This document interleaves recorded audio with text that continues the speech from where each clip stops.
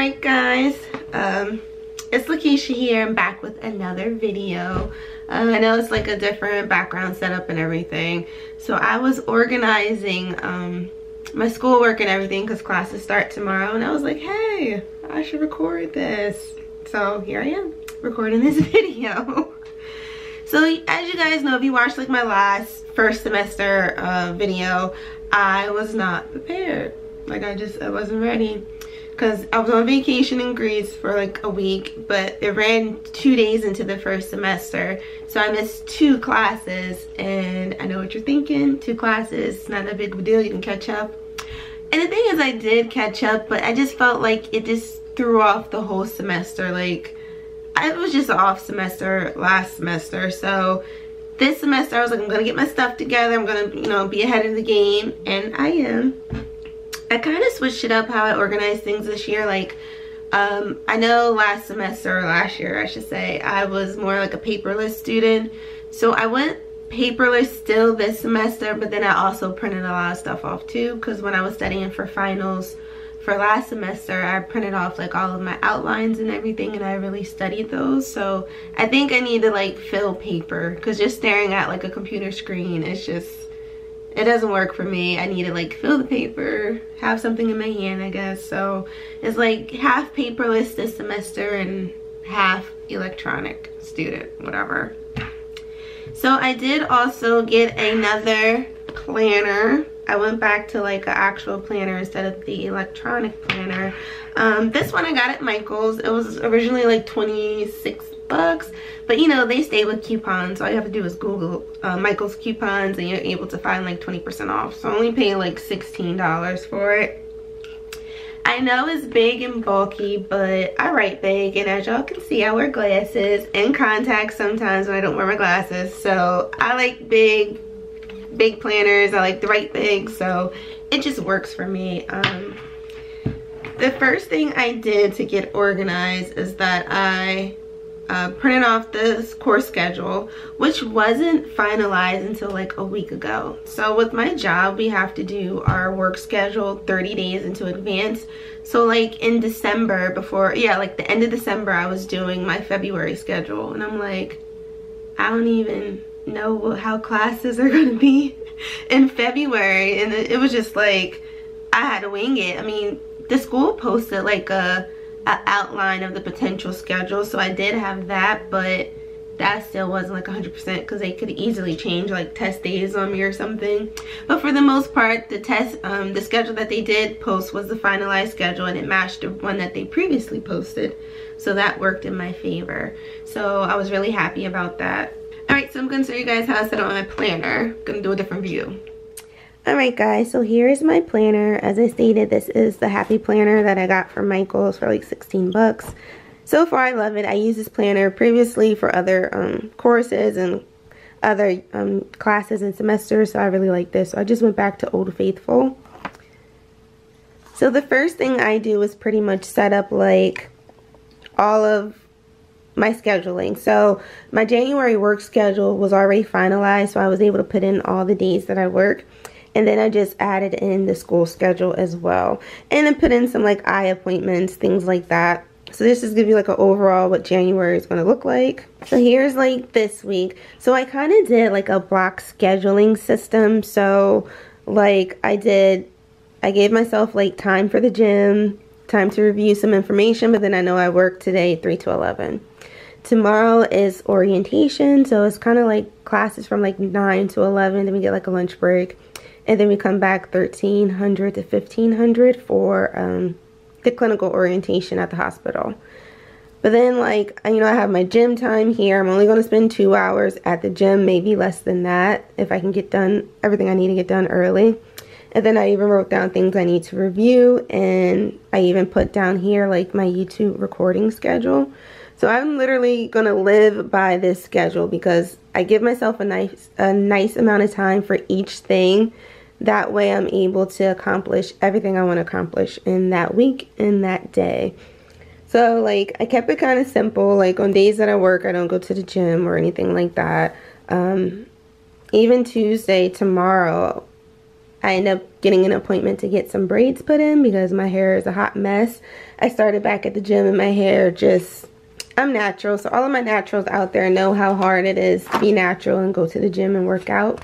And I sweat at my scalp. So yeah, my hair is just not liking it right now. So I'm going to get some braids put in tomorrow.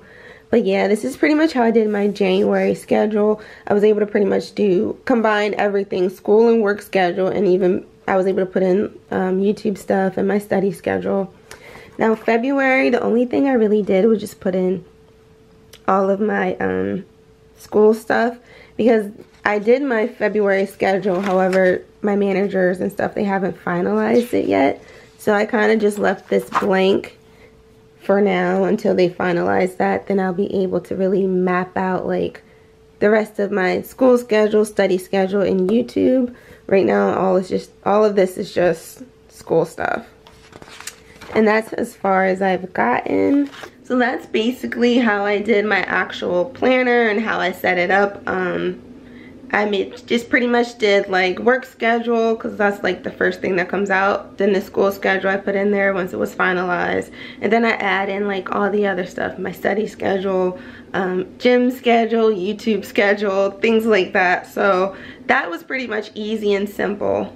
I went to the school maybe like Friday, you guys. I printed off so much crap. It took me like an hour to print off everything that they had up there. Because they had like a lot of supplemental material so I was like I'm gonna take advantage of it and print everything. And like I said I like to have stuff in my hand so I did go to the school and print that stuff off. So I'm just to show you some of the things and how I set up my binder. So this is my binder only one binder for one class. I just put in a notebook in here like just in case I need to write something extra but if I do nine times out of ten I write on my iPad so what I did was print off like all of the outlines or supplemental material, all that good stuff. And I kind of just label it at the top like each subject. So osteoporosis, arterial disorders, um, angina MI, like all that stuff I just put at the top. And those are, these are pretty much all of our test subjects for the first exam. So I wanted to make sure like I can easily get to the information. I also use um, use uh, these dividers on the side so many of this information falls under metabolism, inflammation, and perfusion. So I can just easily just turn to the information like this is our past the class so this has to be completed um, before class. This is another past the class for inflammation and then you have perfusion and these are like all the all of the assigned readings and everything that they had posted. So that's pretty much how I set up my binder for this semester. It's pretty simple. I'm very like an organized freak, so it was important for me to be organized this year. I also set up my clinical folders. So from what I heard from like my friends who are like a semester ahead of me, so they're graduating this semester, they were basically telling me like it's a big jump from med surg 2 to med surg 3 clinical wise like they expect for you to like hit the floor running and know what you're doing.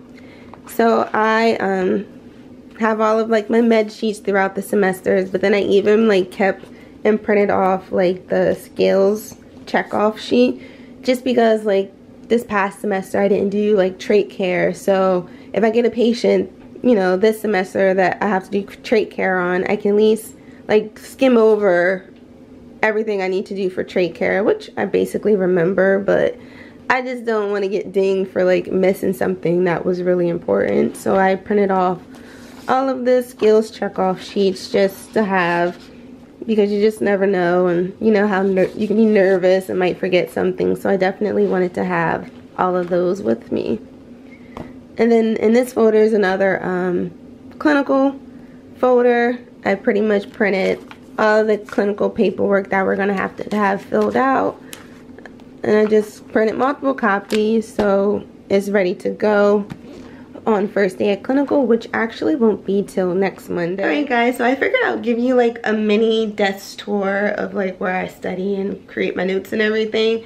It's really simple. I combined um, my makeup desk, if that makes sense, with I pretty much combine like where I do my makeup and where I study at, if that makes sense. So I'm just gonna give you guys a quick tour. All right guys, here is where all the studying and glam and stressing and all that happens here in this little corner here.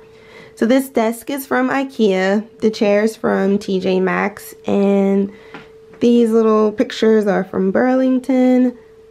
This mirror is from Home Goods, and this one's from these mirrors from Ikea. And these two things back here, I believe, are from Ikea too, just in case any of you guys ask. But I keep it pretty simple, pretty clean. I have my computer here, my um, MacBook Air. Some pens I use to write all my notes. I normally like to light a candle as well when I'm studying. It just helps calm my nerves. um, at this past semester, I also incorporated a diffuser, which helps relax as well if you get the right, you know, essential oils and everything. Here's just my iPad. This little stand here is from Amazon and this is what I use to put my iPad on. So it sits up like this, which makes it easier for me to take my notes from and type them up on the laptop. This is where all the magic happens. Like I said, the glam, the studying. Um, I won't go into the drawers. If you guys want to see the ton of makeup that I have, I'll save that for another video. But Alright guys, so that is how I prepared for this semester. I hope you guys enjoyed the video and enjoyed the desk tour. I will see you in my next video.